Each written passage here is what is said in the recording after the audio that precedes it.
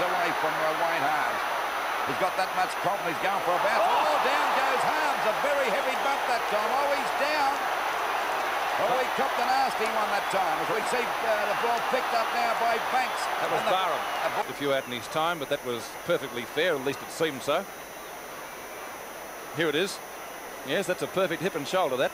Nothing illegal about the tackle there from Barham.